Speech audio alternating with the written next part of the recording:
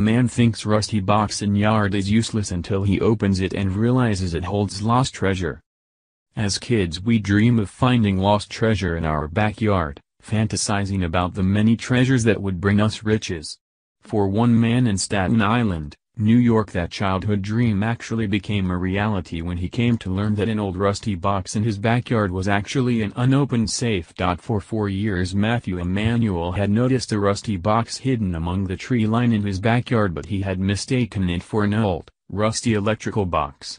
Thinking nothing special of it, he let it be until the day he hired workers to come in and put bamboo in place of where the old trees stood. It was then that he learned that the rusty electrical box was actually a safe. Shocked, he opened it up, never expecting it to actually hold treasures inside but he was wrong and the safe contained much more history than he thought. Inside he found cash, jewelry, diamonds, precious jade, an engagement ring, gold and much more. Matthew was at a loss for words.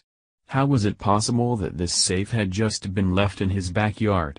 After emptying out the contents inside he found a piece of paper with an address scribbled on it. That address was that of his next-door neighbor. Seeking answers, Matthew went over to his neighbor's house and asked if they had ever been robbed. It seemed like an odd question to them but they replied yes and stated they had been robbed seven years ago. After checking with the police it was in fact true that his neighbors had filed a robbery dating seven years back for about $52,000 in assets. Matthew couldn't believe it and knew the right move was to return the safe back to his neighbors, an act of kindness we hope comes back to him. Watch more about this incredible story in the video below.